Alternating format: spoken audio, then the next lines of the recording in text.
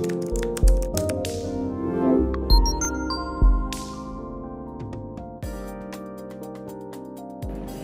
and Assalamualaikum. My name is Siti Nahani binti Al-Mahdi from M3802204A.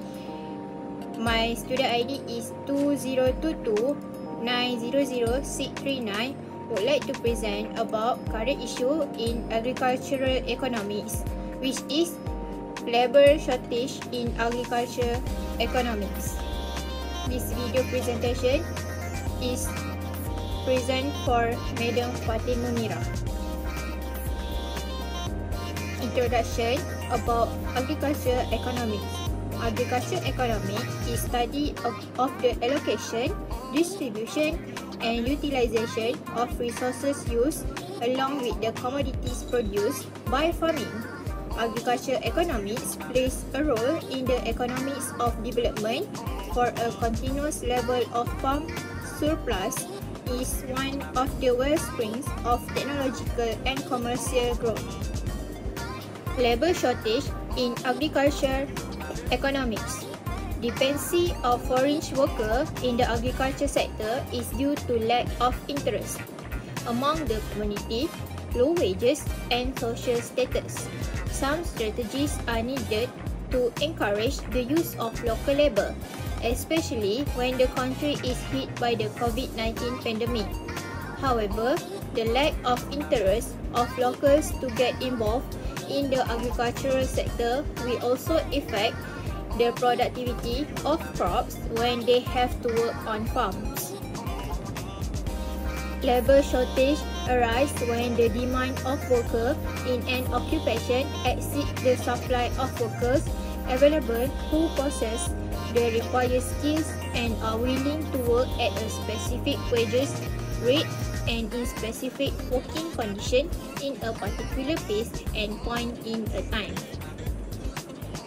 Factor that leads to labor shortage. For the first one is seasonal factor. The seasonal nature of the agriculture sector. The laborers work only for a few months in a year, so they start looking for permanent jobs and regular income. The second one is low wages non-agricultural industry provide some good wages compared to agricultural sector. Then, labor welfare management. Employee welfare facilities in the organisation affected the behaviour of the employees as well as the productivity of the organisation. The logic behind the providing welfare scheme is to create efficient, healthy, loyal and satisfied labour force for the organisation and to make their work life better and also to raise their standard of living. The last one is training and development. Training is a fundamental and effective instrument in successful accomplishment of the firm of the firm's goals and objectives, resulting in higher productivity.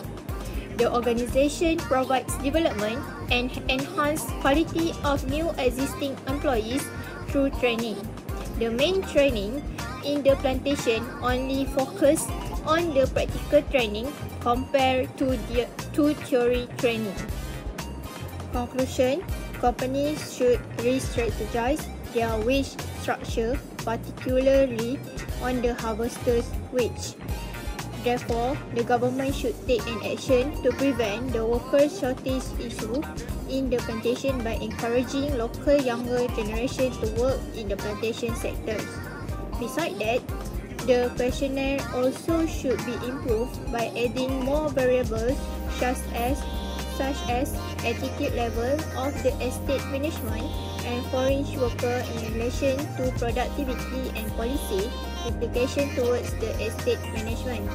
In addition, the wage structure, this rate, comparison of the harvesters with the current practice by the plantation sector should be included in the future study.